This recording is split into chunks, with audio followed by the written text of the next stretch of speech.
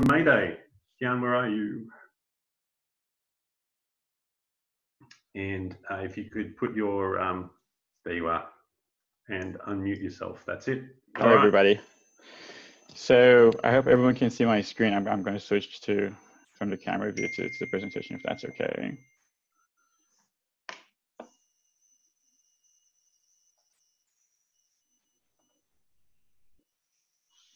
Is that visible? That yes, is good. Okay, perfect.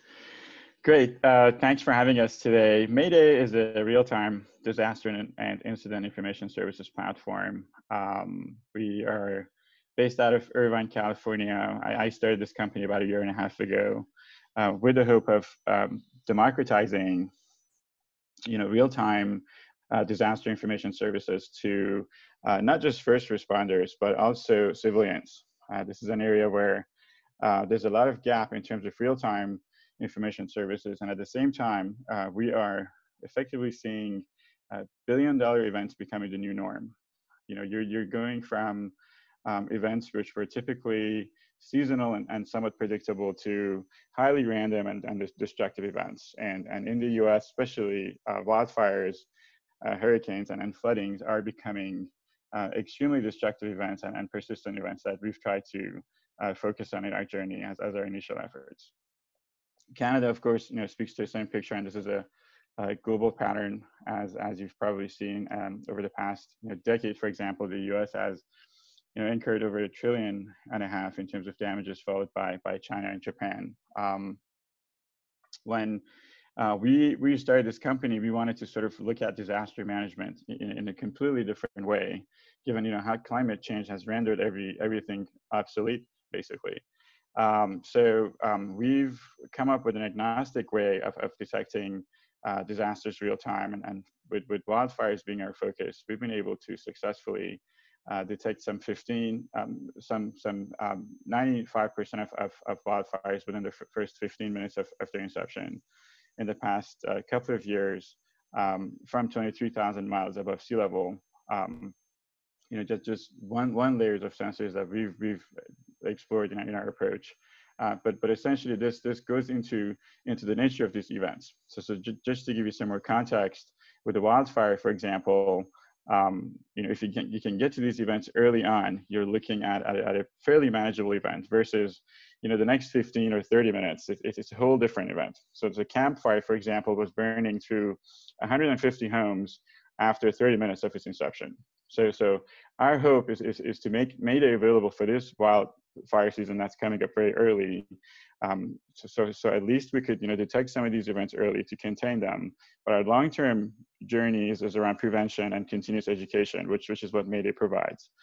Um, so just to add some more details in terms of how we've come up uh, with this platform, we're leveraging the highest number of uh, sensors available from a real-time perspective. Um, we're, we're, we're, using two geostationary satellites scanning some 4.8 billion pixels every five to 10 minutes. Each pixel size is one and a half by one and a half miles. That makes us the fastest in terms of processing of just satellite imagery.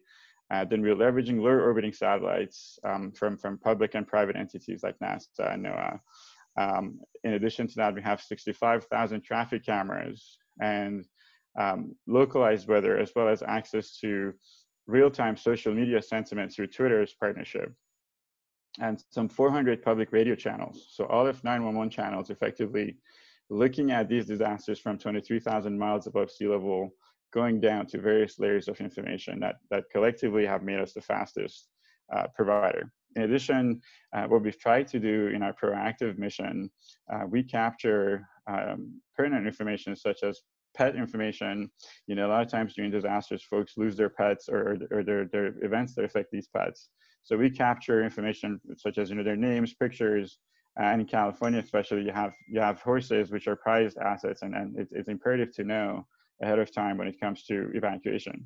So pools are used by, by, by first responders for, for additional reservoirs that we capture, as well as special needs such as um, you know, things like needing oxygen tanks, a wheelchair, which can also help recanvass uh, the neighborhood during an event. So um, what we've basically put together and, and, and the ways we're disrupting this industry is, is we're adding the largest number of real-time data sources and, and passing these through our various layers of verification. So computer vision, machine learning, but at the same time, we're using natural language processing and sentiment analysis to bring all these sources together. Um, we're building uh, a 24-7 monitoring um, center, so similar to an alarm company and how they would effectively track assets. Our, our model is very similar. And, and we're communicating to dispatch centers uh, with, with, with uh, firefighters, uh, police, and, and EMS. And at the same time, we've built in a two-way messaging with, with, between first responders and, and um, households and civilians that currently doesn't exist. So you're probably, you've probably seen indiscriminate Amber alerts. Our, our communications are very event-centric and can be tracked down to an individual throughout the event's life cycle. So um, in our journey, we've basically brought in events from USGS, the National Weather Service, um, the EPA, as well as uh, all the assets from 911. In addition to that, we've, we've come up with a whole new way of, of detecting, well, predicting, detecting, and forecasting wildfires. Um, and in, in the past season, so this season already, in the 2022 season, we've detected the, the car, uh, sorry, the, the, the bar and the red fire some hour and 15 minutes ahead of a 911 call. So, so that's the fastest uh, on the planet, and, and we're continuing to build on this. Um, with that being said, um, I'd like to quickly show an example of how this all comes together. So that's the Easy Fire, and uh, probably a couple of other examples, and I'm happy to dive into to questions after the call. Um, hopefully there's enough time to go through some of these items today. So um, with any events, we build satellite imagery every five minutes um, that, that talks to the detection of that event. So we go through verifications every five minutes and update that life cycle. Um, we have camera imagery that supports that on the ground, and sometimes it's used as the only source of truth. And then through, through Twitter, we have social sentiment analysis, but also event-centric information. So all this information from citizen journalists, um, you know, so for example, the EasyFire, the Reagan Library was being affected. Um, so all this real-time information is available for first responders, but as well as civilians to uh, make educated and, and, and effective decisions about this, this, this process, whether it's evacuation or planning or just getting to safety, um, all this information is available real time. Um, another example uh, is the Getty fire. So for folks out of LA, you've probably seen this. Um, we detected this event um, um, effectively some, some 10 minutes ahead of 911 with our satellites. Um, same idea, effectively seeing that real time allows for um, early containment and, and, and the same process can be applied to, to other events, which is what we're focusing on. So flooding is our next product that we've started to improve on. And um, so if I may, I'm just gonna skip to our journey. So just to take a step back in terms of our journey, uh, we're launching with um, two dispatch centers in, in California. So 14 cities, 2 million civilians, uh, starting from June 15th. Um, uh, we had planned on opening our California Operations Center, but with COVID-19, we're delaying that by a couple of months. Um, and we're also releasing our mobile app to a select group of individuals and first responders within these communities. Um, um and and effectively at the end of Q3, we're planning on opening our dispatch centers and our civilian launch to most of California and parts of Texas. Um, we're launching a couple of programs with NASA and NOAA in terms of data sharing and, and joint research. So we've come up with a new baseline for, for disaster management around wildfire detection, and we're hoping to use this for, for additional improvement. Um, in Q4, we're planning on opening our Texas Operations Center that effectively supports the 10 Western states and part of Midwest. And um, as, as hopefully towards the early parts of next year, we would have most of the US um, covered with some international projects coming in through the National Weather Service. And these are countries which are prone to wildfires. So what we've done in the US and essentially the Americas has also been done in the other part of the world. Um, so in Australia and New Zealand, we can bring in the same essentially set of services.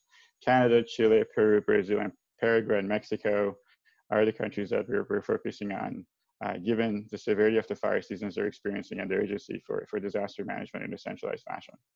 And Q3 and Q4 is effectively expansion to other parts of the world and additional um, state and, and city level products, which is what California is serving as a template.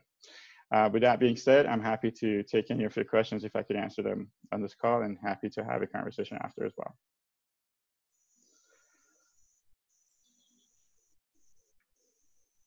All right, thanks, Kian. I am Jim. Yeah, um, I have lost my screen. Anne, can you hear me? We can hear you just fine. Yeah, I've lost my screen completely, so I don't know what's going on. Okay, we can hear you and see you. Can you hear the get the Q and A? I can't. No, I've got nothing on my Okay. screen. Absolutely So nothing. I'm on the Q and A. Well, what? You're on the Q and A. I'm So passing you- it over to you. So you always have some questions. So why don't I ask you, what kind of questions do you have? Because you tend to always be the one to start us off. Um, I have I have one question in particular that I've been pressing to ask Kian for actually for a little while. Um, that is, um, if there are countries that have um, kind of their own state-run grids and um, then have to switch to, you know, say for example that there is a nationwide crisis like bushfires in Australia, there is a national um, system, but all of the states have kind of differing kind of more cultural, different different kinds of competing systems, if you like.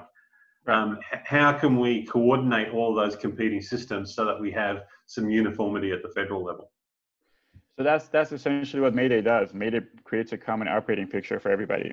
So so through Mayday, Mayday becomes a conduit. Mayday becomes a platform for visibility, but also the conduit for messaging. And and in areas where you have infrastructure damage, we have drones and other entities that we've tried for augmented data provision to to get folks out to safety. So, but that's that's effectively the the, the, biggest value of Mayday, which is taking away all those inefficiencies and creating a centralized platform. Um, that fragmented nature goes away which reduces response time and allows for faster coordination and, and effectively reduction of damage. So you, in essentially, see yourself as a huge systems integrator across all these different platforms, these different data streams, these different sources, whether it's satellite or other ways of getting the data in the first place. Yeah, so so effectively we've brought in raw data that gets processed through AI and machine learning. Um, so with wildfires, we're using geostationary satellites, um, as well as so, so low orbiting uh, is every three hours in terms of updates. Geostationary is, is every five to 10 minutes. That kind of real-time processing has never happened before. But if it has, it's, it's happened as, as, as an R&D um, level with NASA and NOAA. So, so we're bringing that to public and first responders.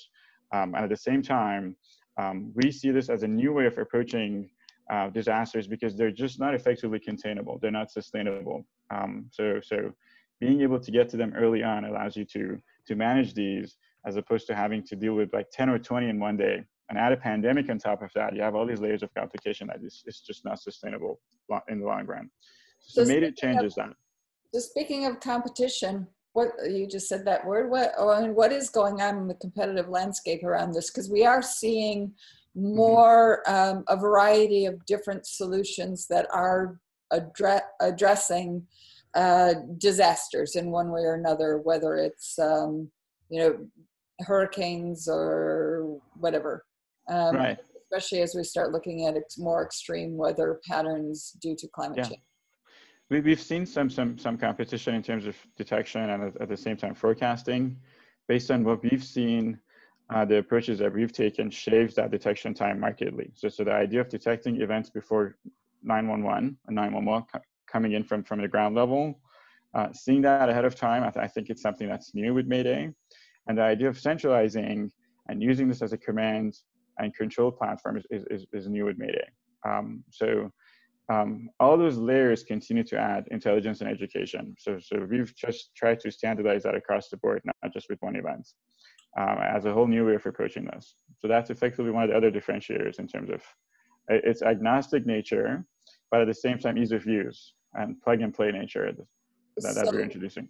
what in your system is proprietary um, and and what helps you keep that those barriers of other of entry for others players So, so the approach to to detection, real-time detection using imagery, uh, it goes beyond computer vision. It has a lot of machine learning and nuances and training that that we've we've put together, and and the science around um, detection of that.